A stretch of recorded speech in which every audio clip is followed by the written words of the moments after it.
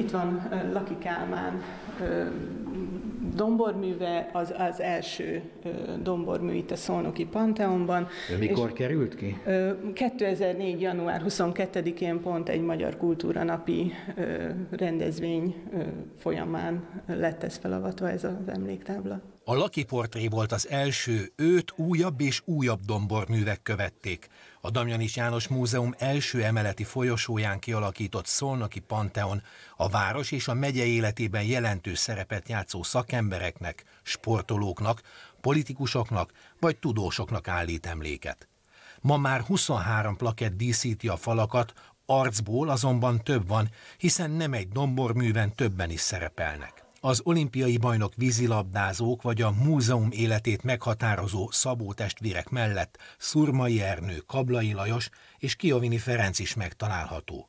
A koronavírus miatt bezárt múzeum idén nem tudott kiállítással ünnepelni a Magyar Kultúra napján, ekkor jött az ötlet, hogy filmen mutatják be az arcképcsarnokot. Amit itt a Szolnoki Panteonban látunk, ez került mondjuk azt megfilmesítésre, egy 25 perces kisfilmben bemutatjuk azokat a jeles személyeket, akik Szolnok életében, illetve a megye életében valamiféle fontos szerepet játszottak. A film felkerült a múzeum honlapjára és a videó megosztó oldalra is.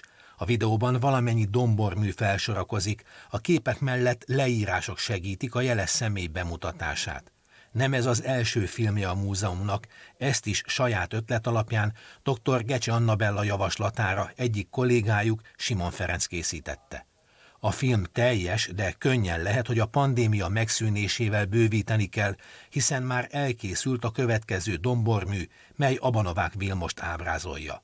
Bárki javasolhat szemét a Panteonba, ha valakit befogad a szakmai zsűri, annak arcképét biztosan megyebeli szobrász készítheti el.